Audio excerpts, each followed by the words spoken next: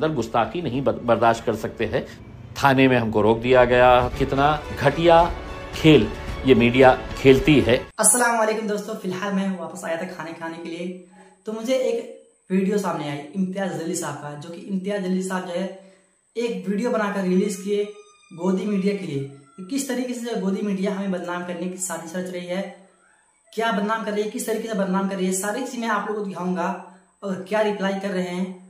इम्तियाज़ जलील साहब, सारी चीज़ मैं आप लोग को सुनाऊँगा। तो पहले आइए आप लोग को पूरा वीडियो दिखाते हैं, उसके बाद जो फिर आपसे मिलते हैं। 23 सितंबर 2024 एक बहुत ही भव्य रैली पूरे महाराष्ट्र के गाड़ियाँ औरंगाबाद से होते हुए मुंबई की तरफ़ गए।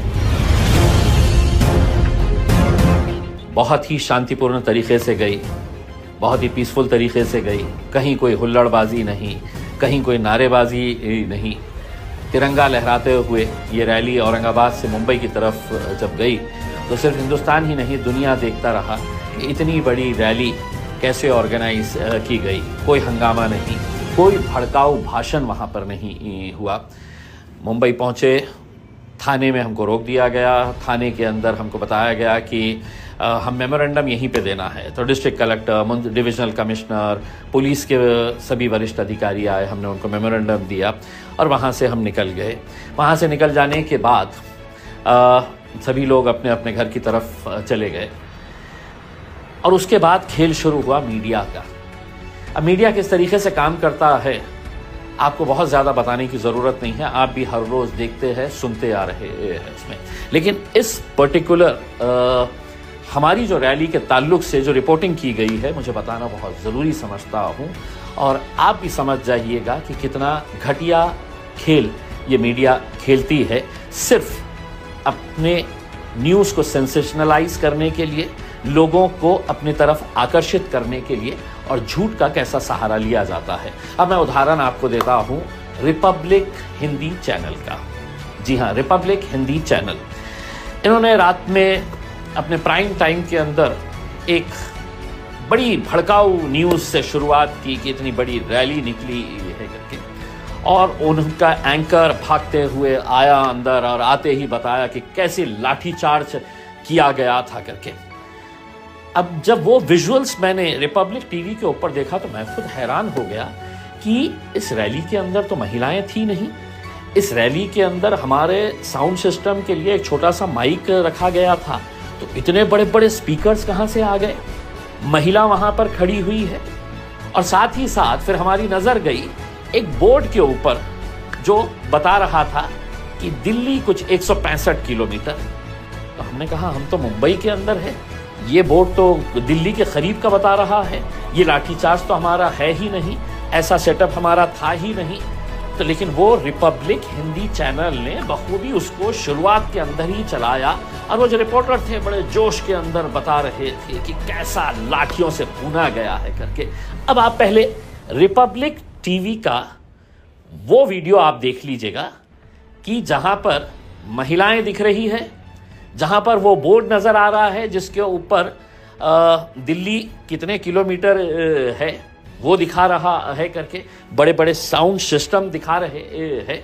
तो वो रिपब्लिक टीवी ने ये बताया कि ये लाठी चार्ज, ये हमारी तिरंगा रैली के बाद पुलिस ने कैसे लाठियों से भूना है करके ये बताया। बड़े खुश हो रहे थे दिखा के कि देखे कैसा वहाँ पर इतने सारे लोग जमा हो गए और पुलिस ने अपने डंडों का इस्तेमाल किया। बड़े खुश हो रहे थे, क्योंकि पत्रकारिता नहीं कर रहे थे, दलाली कर रहे थे। अब आप ये विजुअल देख लीजिएगा, उसके बाद मैं आपको अपना विजुअल बताता हूँ। अब देखिए, इस पर लाठी चल गई। शिंदे, सरकार ने लाठी चलाना शुरू किया भीड़ पर। रात को लाठियाँ चलाई और उसके बाद लोगों को खदेड़ा है। पुलिस दरअसल, पुलिस मौजूद थी। बॉर्डर पर जैसे ही अंदर जाने की कोशिश करने लगी भीड़, पुलिस ने लाठी चलाई, बल प्रयोग किया और उसके बाद लोगों को यहाँ से खदेड़ा और तितर बितर किया। अब हम आपको दिखाएँगे हमारी रैली का दृश्य। हमारी रैली जिस तरीके से आई, वहाँ पे जिस ग्राउंड के अंदर खड़े हुए थे और वहाँ पर जब सब लोग चले गए थे, कुछ लड़के थे जो थोड़ा बहुत हंगामा कर रहे थे। पुलिस वालों ने मारे नहीं डंडे लेकिन लोगों को वहाँ से भगाया। और बहुत कम लोग बचे हुए थे जब पुलिस वहाँ से भगा रही थी। अब ये हकीकत जो हमारा वहाँ पे मुलुन नाके के पास का विजुअल है, ये विजुअल आप देख लीजिएगा और उसको कंपेयर कर लीजिएगा। जो विजुअल रिपब्लिक टीवी चैनल और दूसरे चैनलों ने भी खूब चलाया। ये कहते हुए कि कैसे लाठियों से भूना गया। कुछ यूट्यूब चैनल वाले भी कुछ कम नहीं है। पैसा दो तो कुछ भी कर देते हैं। तो उन्होंने भी बड़ा जमकर कि कैसे लाठियाँ बरसाई गई ए आई एम आई एम की बड़ी रैली के उसमें। तो अब आप ये विजुअल देख लीजिएगा, ये विजुअल देख लीजिएगा और आप समझ जाइएगा कि मीडिया आज के इस दौर के अंदर किस तरीके से काम कर रहा है। और मैं सिर्फ़ रिपब्लिक टीवी की बात नहीं कर रहा हूँ। जी न्यूज़ वाले ने किसी एक कहाँ की किसी की तकरीर को हमारे विजुअल के अंदर बताया। कि हमारा हमारी रैली के अंदर इस तरह की तकरीरें की गई है करके। बड़े अच्छे तरीके से उन्होंने भी चलाया। किसने एडिट किया? किसने उसको ट्विटर के ऊपर डाला? ये इसकी ज़िम्मेदारी हमने उनको ओपन चैलेंज किया।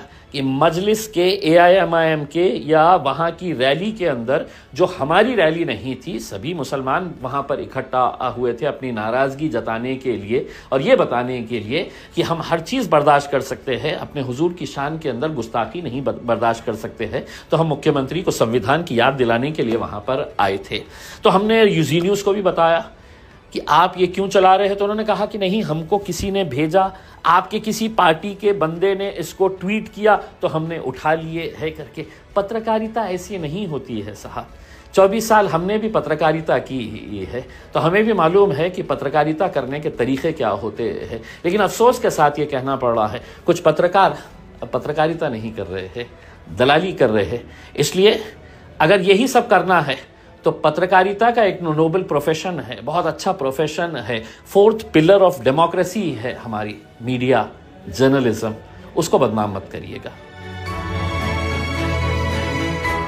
तो दोस्तों, जैसे कि आपने वीडियो देखा, इम्तियाज़ जली साहब किस तरीके से रिप्लाई उन्हें दिए, और आप लोग बता दूँ, आप सभी ने सुना, इम्तियाज़ जली साहब बता रहे हैं, हमने ये पत्रकारिता की है, लेकिन इनकी तरह नहीं, और आप लोग जानते हैं कि जो पत्रकार हैं, बहुत कम ऐसे पत्रकार हैं जो कि सही न्यूज़ देते हैं, लेकिन जो है कुछ गोदी मीडिया है जो अफवाहें फैलाती हैं, जो कि उन गोदी मीडिया को इम्तियाज़ जली साहब ने रिप्लाई किया।